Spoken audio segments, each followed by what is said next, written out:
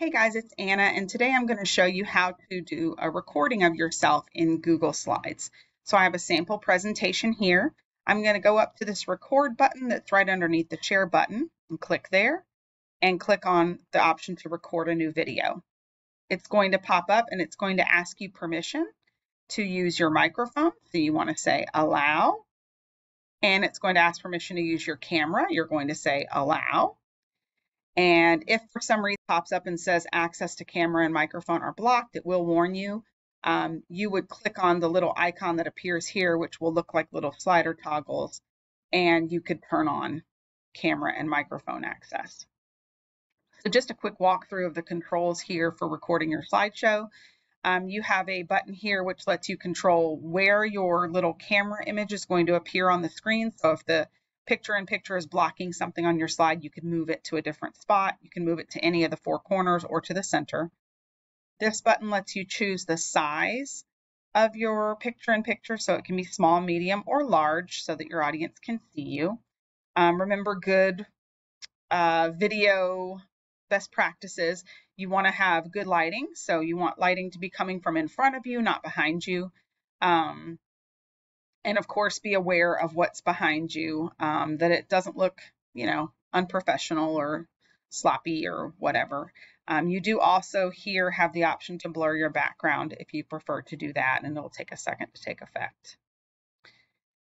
All right quick look at the other controls here. If you use speaker notes in your slideshows you can click here and it will open the speaker notes in a separate window. Um, if you're using speaker notes you can just navigate from here as you do your presentation. Um, your recording will not show this other screen um, where your speaker notes are. Uh, there aren't any speaker notes in this presentation, but if I had any, they would be in this white panel here. This right here is an indicator of um, whether your microphone is working. So do a little test into that and make sure you see movement. This turns your microphone on or off. This turns your camera on or off if you wanted to um, hide it for a second um, to show the slide better, or if you just want to record your voice and not have your face showing. Um, this shows you that you have a maximum of 30 minutes of recording time. It is not recording when you first click that link. It won't start recording until we hit the record button. And then if you need to choose a different microphone or a different camera, you'll use this little gear icon um, to choose which microphone and which camera it's going to have access to. All right. Uh, I always recommend before you go ahead and record your entire slideshow that you record a little snippet and watch it back to make sure that it sounds good and it looks good. So um, do a little test recording before you go through the whole slideshow because you don't want to have to redo it. So when you're ready to record, you got everything set how you want it, you're going to click on start recording. It's going to ask you to give permission um, for the site to be able to look at this tab. You're going to click allow. Then it's going to give you a little countdown. And now it's recording. You notice the icon has changed to a little stop icon. And you can go through your slideshow here and just talk through if you need to move your image at any point to help them see something better on the slide, you can, or if you need to change the size of it, you can during the slideshow. Um, you can also go back if you need to.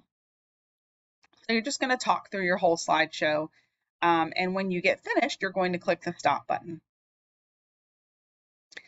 Now it gives you the option in the corner to re-record. So if you weren't happy with how that went and you just want to start over, you can do that. Or to save to drive. So I'm going to click save to drive. And it's going to go through several steps here. It's going to up upload um, it's going to kick me back out to my main slideshow and show me that the recording is processing in my Google Drive. And then when it finishes, it's going to show me um, the name of it. It's going to default to be named the same as your slideshow. And then you have options here. You can rename it if you want to, like if you did two different versions. Um, you can remove that recording or you can copy the link to that recording. So before we can copy that link and be ready to share that, we need to make sure that the video is actually shared so that anyone can view it. So what I'm going to do, um, I'm going to click on that title or that name, it's going to open up the recording um, in a new tab, and then I'm going to click on the share button. Notice it says private only to me. So if I were to share the link immediately, nobody would be able to look at that video except for me. So click on share. You want to change general access at the bottom to anyone with the link. You'll notice it changes to a green um, globe here, and then you can copy the link. That's the link that you want to share and click done. Notice up here in the share, instead of having a little lock icon, it now has a globe that's showing you that there's global access. Anybody in public can view your video.